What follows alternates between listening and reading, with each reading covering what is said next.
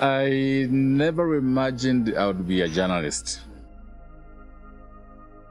I have a brother of mine who used to love to listen to BBC. He would tell me all the stories stories of uh, the war between Iraq and the USA.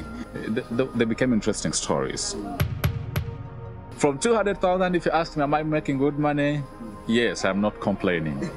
I mean, if you look at my pictures from 2005 to today, don't I look better?